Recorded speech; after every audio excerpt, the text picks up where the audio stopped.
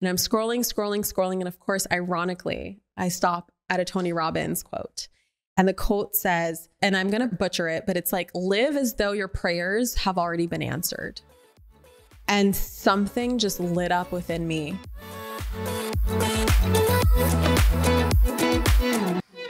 Take us now to this year where you set out to prove, because Yeah. I love how you're talking about these different elements. You did work a job so that you could stay in the energy that you wanted to embody. There's so Mhm. many things where I think we overlook the power of how our manifestations are coming true, even in the seasons that we don't see Yeah. it yet. Yeah. And the way you describe this year is really powerful. So I'll let you kind of start wherever you Yeah. want to, but take us back to that season when you're like, I'm going to prove this. Yeah, I want to first share the inspiration behind it. It actually starts at a Tony Robbins event because at that event, I heard my intuition just scream at me for the very first time because our intuition's always talking to us, Mhm. but we're trained in our society to be left brain and logical Yes. and not to listen to that voice. And I feel like there's certain moments in life where that voice just comes through, like no matter what, whether you consider yourself intuitive or not, it's just like Mhm. something you can't ignore. So that was my moment for me where I heard this voice ask me over and over and over again, Kathrin, who are you living for? And it started out super quiet. And then it got louder and louder and louder and Yeah. louder until it's like, Kathrin, who the F are you living for? And I'm like, whoa. So I wrote it down and I was like, this is a really good question. Yeah. So the next day of the event, I come back and I think we're like going through limiting beliefs or something. And I open up my notebook to where we left off from the day before. And it was, Kathrin, who are you living for? And I answered for the first time ever. The realization hit me I'm living for everyone but myself. I mm-hmm. don't want to go to medical school. I am in a relationship that's like two years overdue a breakup. We're together for comfort. And it was a complicated situation. He lived with us and he was very much part of our family. So there's a lot of things that if you look at logically, like you can really understand, like, okay, Kathrin, I can see why you didn't break up earlier. Yeah. And then I really wanted to move back to LA. LA is where I grew up. It was my home. It was, you know, it's just so funny because I live here now. I never imagined in my life to live anywhere else but LA, but you know, things change. And so at that event, I made all these decisions and I felt Mm. insane. And Yep. I remember coming home from because I was actually going to this event, staying at my grandma's couch while going to this event. Cause I'm like, hey, grandma, there's an event in LA. Can I stay with you? And she's like, of course. So I come back and the next day, I'm like, am I insane? Like, I'm about to break up with him. I'm about to go home and tell my parents I'm not going to medical school. Like, screw these applications. I'm out. And then I got to figure out a plan to move to LA. Like, am I? I felt so crazy. It Mhm. felt so right, but I'm like, am I Mhm. insane?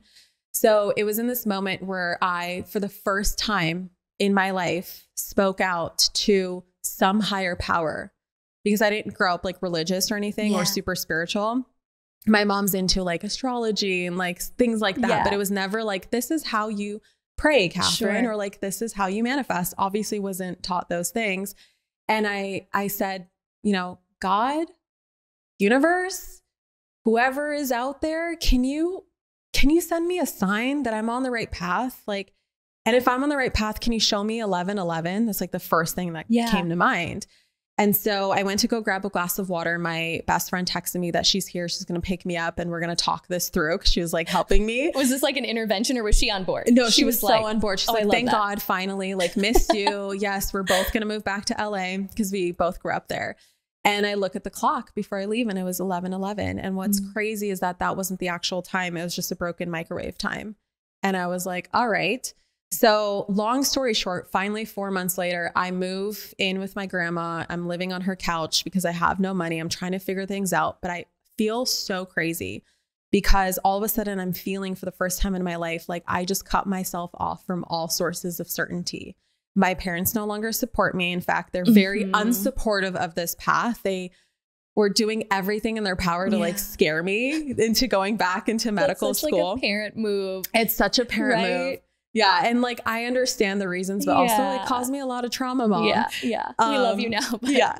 And so, and then I was like, okay, now I'm getting this $15 an hour job. Mhm. And I just graduated from with a biology degree, which it's like, I don't really want to do anything in the field of biology. Like, what am I doing here? And then I'm like, I'm in the Mhm. fitness industry. I don't want to be in the fitness industry. And my intuition kept telling me, like, you're going to build a brand in the manifestation space. Mhm. Like you are going to do it. It's going to be a big brand, but I had no idea what that would Mhm. look like. I had Mhm. no idea. There's no concept. It, like I didn't, it's not like I got the whole business plan, you know, downloaded at the, at the same time. Yeah. And so in this one night of confusion, I was scrolling on Instagram looking for inspiration because back then I think all my Instagram was, and you have to think this was like what, 2015? I was gonna say it's like early on before Early on, the and industry was- as we know it now. Yeah. And it was just all inspirational quotes. I think that's all I Mhm. followed.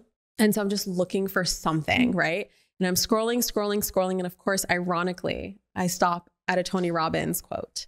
And the quote says, and I'm going to butcher it, but it's like, live as though your prayers have already been answered. And something just lit up within me. It was like, it's such a manifestation concept. And it's like conceptually, I knew so much about manifestation. Yes, I've proven to myself so many different elements Mhm. of it. Mhm. But all of a sudden, I'm like, that's the freaking key. Mhm. Live as though your prayers have already been answered. Oh my God. And then I remember just having this like extension of a download being like, what would it look like if I lived, like literally acted as if my success was already inevitable? Like, what would that look like? What would I do differently? And so that night, I opened up my journal and I wrote out, and I've done this practice before up until this point, but this time I'm like, no, this is serious. This is, we're getting, we're getting down to business here. Yeah. So I wrote down exactly what I want my mm-hmm. life to look like. To to like I'm traveling once a month to a new country every month. I have so, you know, this much money. I am married to this guy, which I was dating my husband at the time. I really wanted to marry him. I don't know if he was as interested in me at the time, but I was like, this is what he looks like. This is, yes. So I'm like, this is how many kids I have. Like I Mhm. had this is where I live. I had it all scripted out. Mhm. And then my next step was, well, who do I need to become to manifest all that? How do I approach my life, my Right. business, just how I'm being, no matter what it is, Mhm. from this place of it's already done, it's already inevitable. And something about it, and I remember like feeling so much fear in that moment of like, I don't know how I'm going to do this. And so I had to convince myself it's only for a year, Kathrin. I don't know where I came up with this, but I'm like, if I could just do it for one year, I'm 23 years old. Like if I if it all flops, like I'm only going to be 24. Like I'll figure it out. I still have time, right? That was really helpful to me as a thought. But also, it was like the most helpful thought of all was, well, what's the worst that's going to happen? Mhm. It's not going to work, and then what? You're going to have to move in to your grandma's couch again, like you already are, Kathrin. You're already living your worst case scenario. So that Mhm. was like, okay, I got nothing to lose here. We're going to do this. So, literally, the next day, I just started doing everything that I knew. So, I started um, cultivating, I knew my intuition was very powerful. And Mhm. it's like the key to, you always hear like, you know, people use it in business all the time, especially like female run businesses. Like Yeah. you hear, like, I just got this download, this invention came to me. I asked, like, um, I think it was the owner of Spanx, like, she asked the universe for a billion dollar idea. And here we go. We have a billion dollar idea, right? So I just like started to remember all of these things that I've heard. Yeah. And so I um, started to meditate. So, like getting to the nitty gritty, I started to meditate every morning and every night, just being in silence, just connecting to my higher self, just Mhm. connecting to that voice that asked me, Kathrin, who are you living for? I'm like, obviously, that voice knows what she's talking about. So I'm going to Mhm. tune in. Then I really got clear on who is that version of me who already has everything that she wants. Like, what is she Yeah. actually doing?